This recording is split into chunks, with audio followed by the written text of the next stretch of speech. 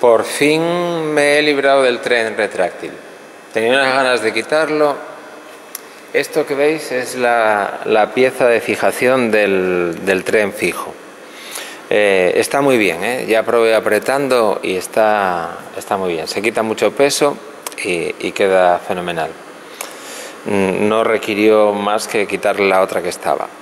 Bueno, como es lo último que queda, no voy a echar mucho tiempo. ¿eh? Entonces os enseño cómo quedan las patas. El tren es mucho más corto y además la, fijación del, tren fijo, eh, valga la redundancia, eh, separa más las patas, le da más estabilidad.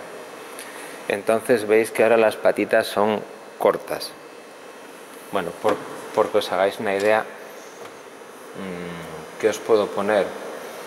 Eh, no tengo una regla aquí ahora mismo, pero podéis tener una idea proporcional de, la altura.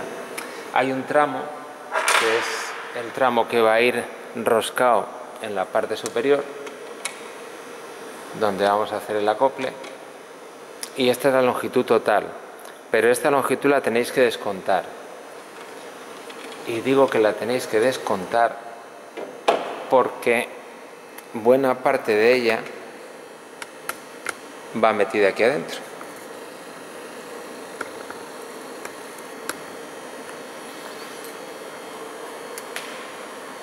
El tubo entra aquí, bueno, entra hasta aquí. Entonces queda muy, muy sólido.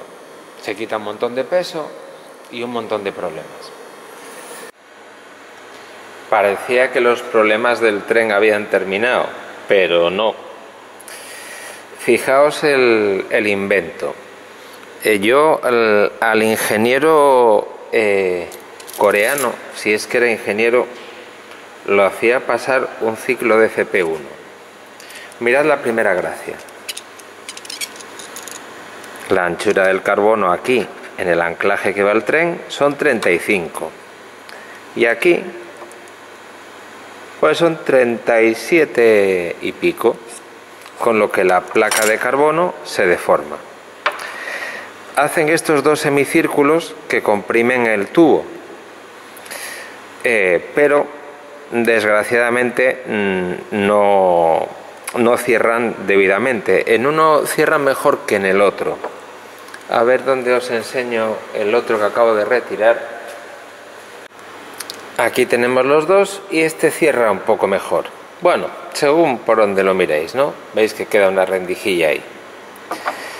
Yo la pregunta que me hago es, si este, estos dos semicírculos tienen que cerrar mm, con el diámetro de 25, ¿cómo coño van a apretar en condiciones?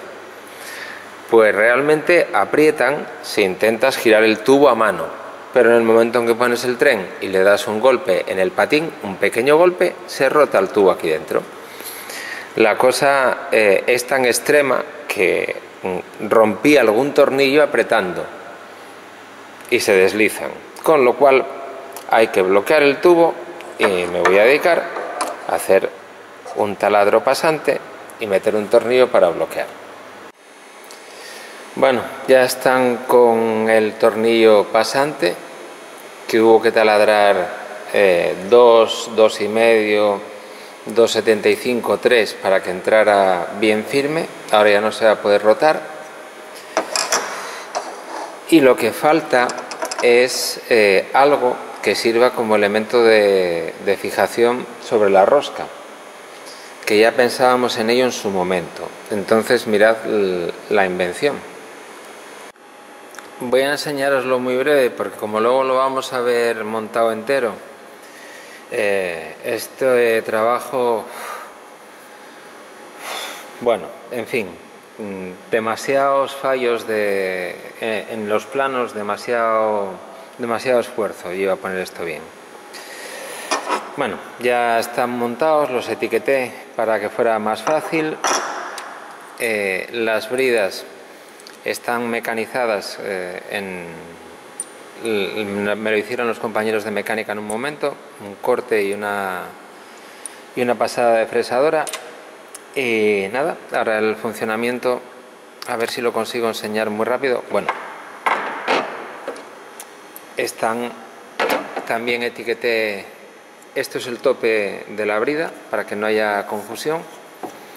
Entonces el funcionamiento nada, es, realmente sencillo. ¿eh?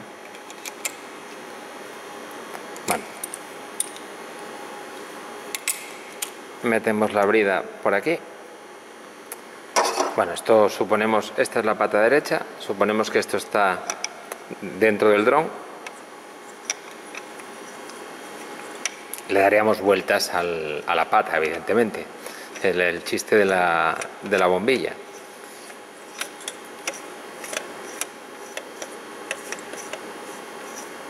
Ahora ya no tendríamos problema para apretar fuertemente. Os fijáis que queda, vamos a ponerlo hacia arriba, queda recta. Bueno, ahora podemos apretar con ganas, pero para hacerlo bien, pues ponemos esto y clac. Está floja, ¿eh? se puede apretar bastante más. Y ya está. Queda una pata muy mona y ya metimos 43 gramos más que me traen por la calle de la amargura. Y por fin el tren es desmontable y no se gira. Ahora lo pongo en el, en el dron y luego ya os lo saco completo y veréis el vuelo. Todavía no tengo la cámara, pero bueno, así es como queda definitivo. Quedó muy bien, pero ¿a qué esfuerzo? Mirad, está totalmente nivelado y aquí veis eh, el detalle del cierre con la pestaña puesta hacia adentro y el, todo el etiquetado entonces le quito el Gremsi que estaba comprobando cómo quedaba de altura comprobando que quedaba nivelado también y ya vais a ver que no hay forma humana de que las patas se giren. Pero joder con el tren. Bueno, a ver si salgo yo haciendo el borrico. Mira.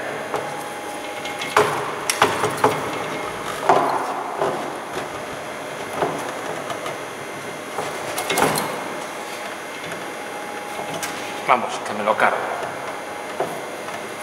Esto no se gira para ningún lado ya no tiene pandeo de ningún tipo. Es más, yo creo que si le pongo encima no lo rompo, aunque ganas de darle un castañazo no me faltan.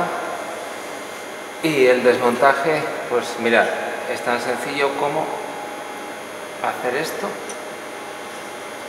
Indicación de abrir para lado de acá. Abrir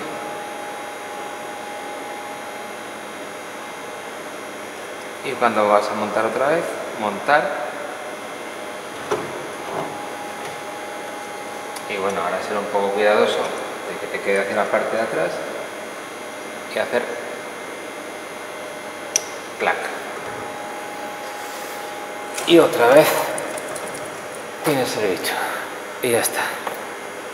Lo siguiente verlo volar. Voy a enseñar una monada que tuvimos que hacer.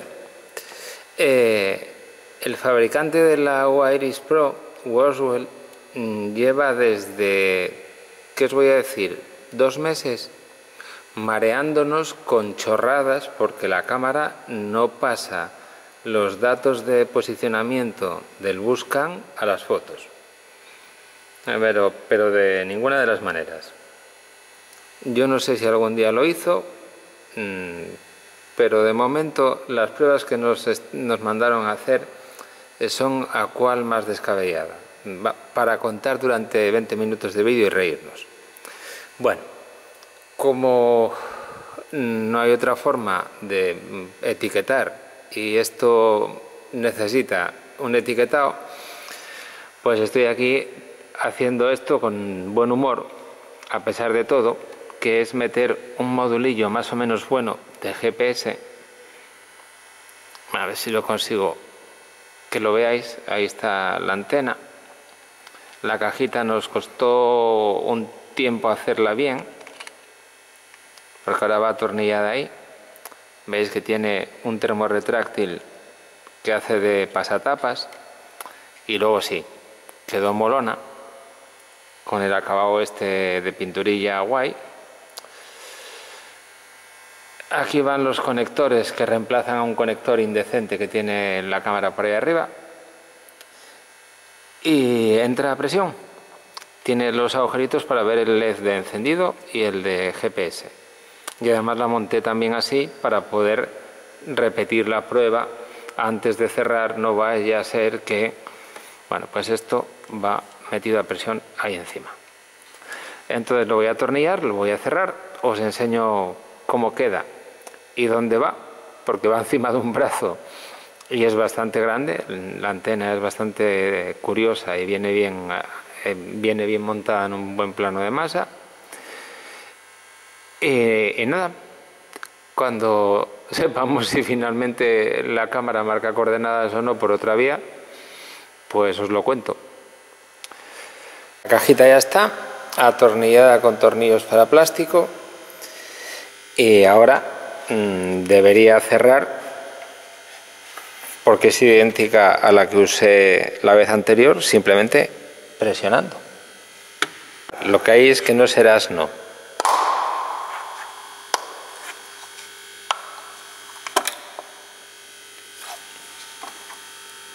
Ya está. Y no se sale, ¿eh? Hay que tirar con ganas. Pero si sale en el momento en que le haces con un chirimbolillo de estos de plástico, clac. Bueno, solución después de haber pagado la burrada que se pagó por la cámara. Aunque ya voló la vez anterior, eh, antes de pasar al, al vuelo, que os pondré también un montaje de todo el conjunto, quería enseñaros algunos detalles que mejoré, porque para instalar la cámara, que ahora ya la tenéis, eh, no, no voy a andar con, como lo vais a ver en, en, el, en la parte final del vídeo, eh, no voy a andar moviéndola, está instalada, alimentada y todo. Pero bueno, para meter el cable del GPS tuve que desarmar los discos. Entonces le hice alguna pequeña mejorilla por ahí. Eh, a ver, que os enseño. Por ejemplo, la tapa de cierre frontal, a ver si me queda bien desde aquí. La hice nueva. Sí, aquí la podéis ver bien.